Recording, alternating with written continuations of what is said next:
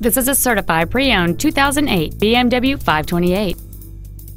It features a 3.0-liter six-cylinder engine and an automatic transmission. All of the following features are included. A power moonroof, steering wheel memory settings, cruise control, a CD player, a leather-wrapped steering wheel, a passenger side vanity mirror, a security system, a traction control system, dual power seats, and this vehicle has fewer than 35,000 miles on the odometer. With an EPA estimated rating of 28 miles per gallon on the highway, it's easy to see how you can save.